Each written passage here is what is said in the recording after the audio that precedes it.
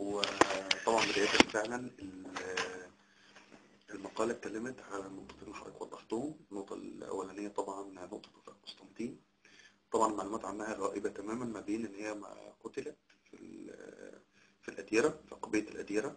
والحاجة التانية تقول إن هي محجوزة الآن أيا كان بقى ترجم كتب ما بتترجمش كتب أيا كان الوظيفة بتاعتها. بس إن هي موجودة وما ينفعش إن هي تظهر للعامة. كذلك موقف كمال شحاتة وموقف قريب. النقطة الثانية اللي هو تكلم فيها هي نقطة الرقابة على الكنائس سواء الرقابة الأمنية على وجود الأسلحة في الكنائس أو الرقابة الإدارية على الإنفاق اللي بيأتي اللي بتنفقه الكنيسة أوجه الإنفاق وفي نفس الوقت مصادر دخل الكنيسة سواء من التبرعات سواء من الأوقاف لأن الكنيسة ليها الأوقاف الخاصة بتاعتها. ما لا يعني أعتقد كان الأستاذ عبد السيد كان اسمه قصة بريمار القس إبراهيم عبد السيد تمام. كان أعتقد نشر كتاب بيتكلم فيه من النقطة دي وكان حتى بيوزع كتبه أعتقد الفترة اللي فاتت يعني قبل ما يموت وكان بيوزعها عن بعض المقربين إليه. بس الناس زي ما قيل بعد كده إن الناس ما كانتش بتاخد كلامه بشيء من المصداقية تمام. مع إنه كان عنده معلومات قوية جدا عن ال- الكنيسة أو الإنفاق بتاعتها سواء في مسألة التنصير أو في مسائل أو آه، سواء بقى لو اتكلمنا بقى عن سفينة بورسعيد آه، أو الأشياء اللي إحنا لسه ما فيش أي معلومات عنها عندنا يعني.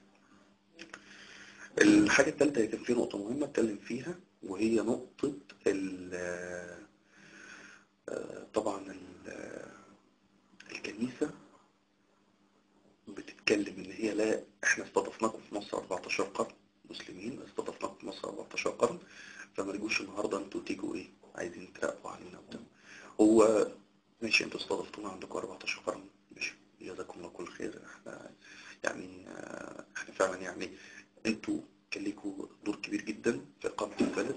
تمام؟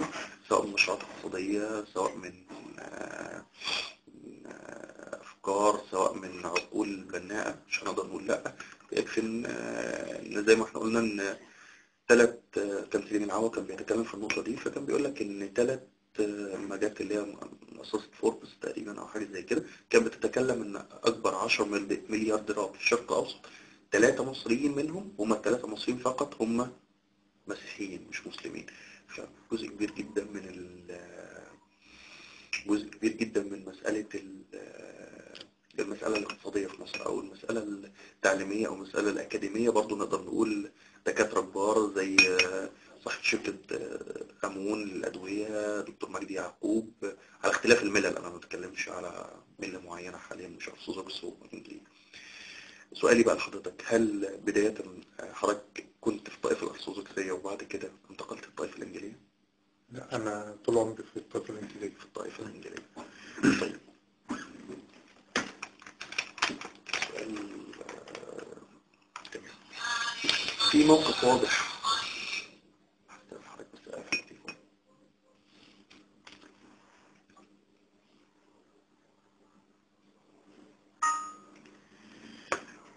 في موقف واضح أصلا للطائفة الإنجيلية من آه، أو النصارى أو المسيحيين الإنجيليين من مواقف شنودة؟ يعني في مواقف معلنة منهم لا هو طبعا موقف الكنيسة الإنجيلية والكاثوليكية كلاهما مختلف عن الكنيسة الأرثوذكسية تمام بحكم إنها كانت صغيرة قليلة العدد جدا آه، المنتمين عليه يعني إجمالي المنتمين للكنيسة الإنجيلية آه، لا يزيد عن 10% من مسيحي مصر. الكنيسة الكاثوليكية لا يزيد عن 5% من مسيحي مصر. إذا هم كنائس صغيرة هذه الكنائس الصغيرة لم تدخل في أي أدوار سياسية كبرى آه، ولم تدخل في آه، دور سياسي علني بالشكل الذي دخلت به الكنيسة الأرثوذكسية. لكن يجب أن آه، نقر أيضا أنه كل الكنائس الآن في تحالف مع الدولة. حتى الكنيسة الإنجيلية آه إن كل الكنائس دخلت في مسألة التحالف مع الدولة وتأييد نظام الحكم سواء الكنيسه الانجيليه أو كاثوليكية أو أرثوذكسية. وإنه فكرة حشد المسيحيين لتأييد الحزب الوطني ومرشح الحزب الوطني سائده لدى كل الطوائف. آه لكن بحكم الكنيسة الإنجيلية والكنيسة الكاثوليكية أقل عددا فليس لهم دور سياسي كبير وليس لهم حضور إعلامي واسع. آه لكن من ناحية آه، يعني هناك طبعا اختلافات بين الطوائف في تصرفاتها وموقفها. أنا أعتقد إنه في قضية مثل قضية آه، وفاء قسطنطين وكمال شحاتة لا الكنائس البروتستانتية والكنائس الكاثوليكية لها موقف مختلف. آه، آه، لأنها بترى إنه وهذه مسألة مهمة جدا غابت للأسف عن آه، الشعب المسيحي في مصر أو الجماعة المسيحية في مصر إنه حرية الاعتقاد تحمي دائما الجماعات الصغيرة. وبالتالي من مصلحة المسيحيين حماية حرية الاعتقاد. وحماية من يريد أن يترك المسيحية الإسلام لأنه هذا حماية لحرية الاعتقاد التي تحمي كل الجماعات الدينية قليلة العدد ال- ال- أعتقد موقف ال- الكنيسة الإنجيلية والكنيسة الك- الكاثوليكية لم يكن آه، مؤيدا لفكرة منع التحول للإسلام سواء من امرأة أو من سواء كانت زوجة كاهن أو لم تكن زوجة كاهن فهذا هناك اختلاف. آه، الأمر الآخر أنه واضح أنه الكنيستين الإنجيلية والكاثوليكية ليست من القوة لتؤثر على توجهات الكنيسة الأرثوذكسية بشكل عام. آه، وبتحاول كلاهما أن تقيم علاقة ما بيخشوا أن يكونوا تحت مظلة الكنيسة الأرثوذكسية فلا يكون لهم وجود لكن في نفس الوقت لا يستطيعوا أن يخرجوا من مظلة الكنيسة الأم آه. والكنيسة الأكبر. بيحاولوا أن يقيموا علاقة آه، فيها قدر من الاستقلال وفي نفس الوقت فيها قدر من التعاون والتنسيق آه، لكن في النهاية الكنيسة الأرثوذكسية تعبر عن أغلبية المسيحيين. تأثيرها هو الأكبر قراراتها هي الأهم وبالتالي كل فعل تأخذه يؤثر على الشعب المصري والمسيحيين أكثر من الكنائس الأخرى. طيب آه، هو كويس ان حضرتك تطرقت النقطة دي. ممكن تكون فيما بعد بس كويس ان إحنا تطرقنا إليها. هي نقطة تأييد الكنيسة تأييد الشعب المسيحي للكنيسة الأرثوذكسية. أيا كان. تمام؟ الشعب عموما زي ما حضرتك اتكلمت عنه. هل فعلا الشعب المسيحي مؤيد لهذا الأمر؟ مؤيد لحرية الاعتقاد؟ مؤيد لخطف كاميليا شحاتة؟ مؤيد لخطف وفاء قسطنطين؟ مؤيد آه، لحاجة زي كده؟ ولا هو في استنكار من الشارع من الشارع المسيحي بالنسبة للتصرفات الكنسية دي. وأنا كنت يعني بس توضيح النقطه أنا كنت لما كلمت حضرتك حتى كنت قلت لحضرتك هي نقطة إن أنا حاسس أنا لما بدخل على مواقع مسيحيه وأشوف الناس ردود افعالها عاملة منكم إزاي؟ آه، فردود افعالهم وأشوف هي عاملة إزاي. فلاحظت حاجة إن في نوع من الانفصال يعني ما بين فكر الشعب المسيحي نفسه وبين الر- ال- الرؤوس في الكنيسة ما بين بابا شنودة أو القصص أو الكلام من ده. إن هم عندهم عندهم اقتناع داخلي إن الكنيسة استحاله تجبر حد على أعتناق المسيحية ولا استحاله إنها تحجز حد وكلام. عندهم اقتناع تام إن الكنيسة سابت للبنت سواء قسطنطين أو حتى الحرية الكامله في اختيار دينها وإن هي أصلا ما هي ما اثبتش واتثبت بالأدلة القاطعة بقى ايا كانت بالنسبة لهم أو بالنسبة لنا إن هي مسيحية. فهم يعني اللي أنا شايفه إن في آه، يعني هم معارضين للفكر ده ولكن بعد هم مغيبين عنه. يعني هم معارضين لفكر إن البنت تحيا مسيحية وتفضل مسيحية وكلام من ده هم ما عندهمش الواقع أصلا يقول لهم إن في حد بيحتجز. هم كل اللي وصل لهم إن في حد بيحتجز وإن اللي عايز يبقى مسلم يبقى مسلم على على خلاف الواقع يعني.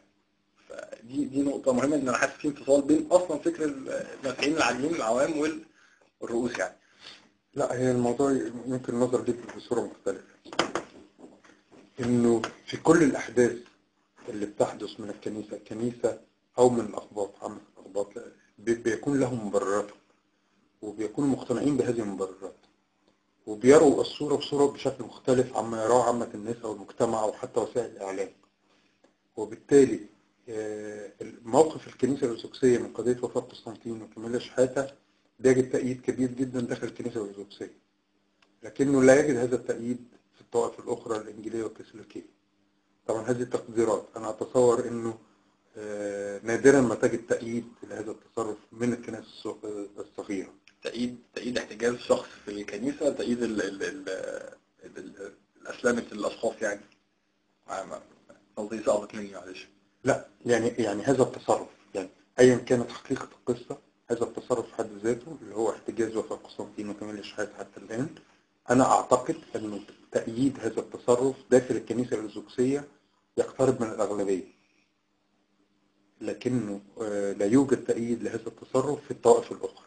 حتى لو ثبت عند عند العوام في في المسيحيين أو كده إن إن هي اسلمت عندهم عندهم برضو موافقة إن هي تحتجز ما, ما, تسلمش للمسلمين أو هما زي بق- بقية الطائف هو يقصد إن زي بقية الطائف. هل الكنائس الصغيرة مثلا تؤمن بحرية الاعتقاد وتؤمن مثلا إن لا يجوز احتجاز أصلا شخص داخل الكنيسة لإرغامه على شيء معين؟ لكن إحنا بنتكلم هل الشعب المسيحي اللي هو تحت بيندرج تحت عباءة الكنيسة الأرثوذكسية هل بيرى أصلا نفس الرؤية الخاصة بالكنيسة الأرثوذكسية إنه يجوز إن لو كان شخص مؤثر زي كاميليا شحاتة إحنا مش هنقول النهارده اشمعنى كاميليا شحاتة واشمعنى فرق قسطنطين لأن إحنا عارفين ليه. لأن هي زوجة كاهن فلا يجوز أصلا دخول يعني ديانة جديدة لبيت طب فين الكاهن؟ انت كنت فين وزوجتك أصلا اسلمت؟ تمام؟ فهنقول ان هم عشان شخصيات مؤثرة في المجتمع المسيحي فدول بالذات لا يجوز ان هم يسلموا. فهل الشعب أصلا المسيحي الارثوذكسي هل بيرى نفس الرؤية دي؟ آه أنا أعتقد إنه آه، في تأييد من الشعب القبطي لفكرة إنه الشعب القبطي كان الأداة الفاعلة لتظاهراته ومواقفه وبالتالي هو كان الأداة الفاعلة التي أجبرت الدولة على تسليم وفاء قسطنطين وكاميليا شحاتة. آه، هناك قناعة إنه إسلام زوجة كاهن آه، مسألة تمس كرامة الكنيسة تهز عقيدة المسيحيين تؤثر عليهم سلبا وبالتالي هم مقتنعين بهذه المبررات. البعض بيرى إنه آه، كان شروع في الإسلام ولم يتم أو أو تم. هذه آه، قضية روايات نسمعها. آه، جزء منها مبررات إنه هذا كان شروع في الإسلام ومنعته الكنيسة وعادوا للمسيحية مرة أخرى. آه، أنا أتصور أن هذا نوع من المبررات لأنه من يريد أن يشرع في الإسلام ويعود يحدث هذا وهو في منزله وهو حر طليق. لكن المقيد في النهاية لا نعرف لأنه قيد خلاص. وبالتالي سحبت منه إرادته الحرة ولا نعرف ماذا فعل. ممتاز ممتاز. آه الأمر الآخر إنه احتجاز وفاء قسطنطين ثم كمال شحاتة ومن قبلهم أيضا وبينهم ماري عبد الله. آه، هل الاحتجاز يوحي بأنه هناك إصرار على التحول الإسلامي؟ وليس العكس. لأنه آه، ما مبرر الاحتجاز حتى الآن. آه، إن لم يكن هناك حدث تحول. أيضا هناك الاحتجاز يؤكد أن هؤلاء الأشخاص إذا خرجوا للرأي العام سيقولون أش- أشياء آه، تغضب الكنيسة أيا كانت. ففي الحد الأدنى لدى هؤلاء الأشخاص ما يقولونه وه- وهذا سيغضب الكنيسة ويحرج الكنيسة وربما يحرج الدولة أيضا. وبالتالي منعوا من حقوقهم كاملة كمواطنين ومنعوا من الإرادة الحرة أو مقابلة وسائل الإعلام. آه، وبالتالي أنا أتصور إن إحنا بصدد حالة توافق ما بين شعب الكنيسة الأرثوذكسية والكنيسة الأرثوذكسية. ولسنا بصدد حالة خلاف وجهات النظر بينهم. وهذا يقوي آه، ويدعم آه، موقف الطرفين.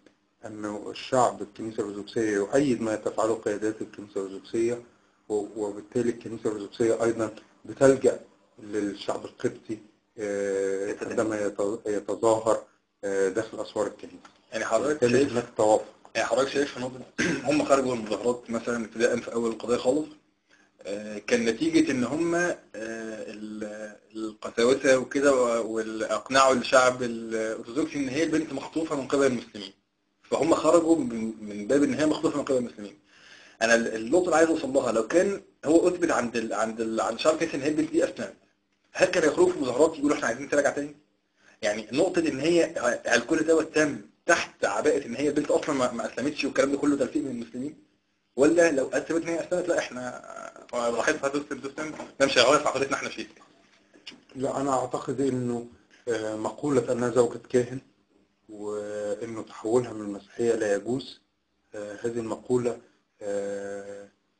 يعني موجودة في قناعات الكنيسة وقياداتها موجودة في قناعات الشعب القبطي فإذا كانت اختطفت آه، وأعادوها أو أسلمت فأعادوها الشعب القبطي مؤيد آه، لهذه الحالة وتلك الحالة.